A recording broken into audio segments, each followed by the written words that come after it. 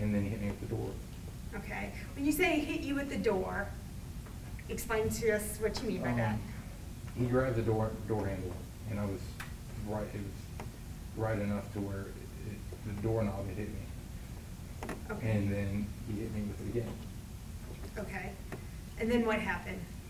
Um, I ended up leaning back on the desk and I went to get up again, and he tried to hold me down on the desk. Okay. Explain that to me, how he tried to hold you down.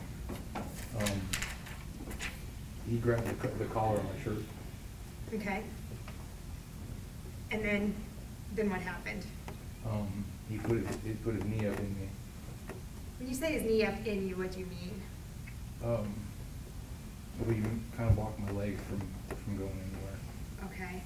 And what were you doing? I was trying to get up. Okay. And what was he doing? Um, he reached, there was a rifle right next to us, and he reached for it. Okay. When you say right next to you, you're, you, explain to me where you are. On the desk. On the desk that you were previously leaning on? Correct. Okay. And there's a rifle, how close to the desk? Within less than arm's reach from me. Okay.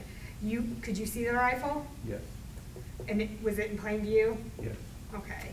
So when he, uh, began to reach for the rifle, what did you do? Um,